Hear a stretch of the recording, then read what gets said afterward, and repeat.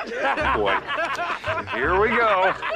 morning I had the honor of meeting with Alexei Navalny's wife and daughter, so dumb. You are really dumb. For real.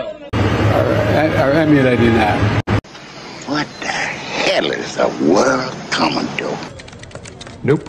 Nope. And we're going to be announcing the sanctions against Putin, who is responsible for his death, You're not gonna speed past that like you didn't just say what you just said.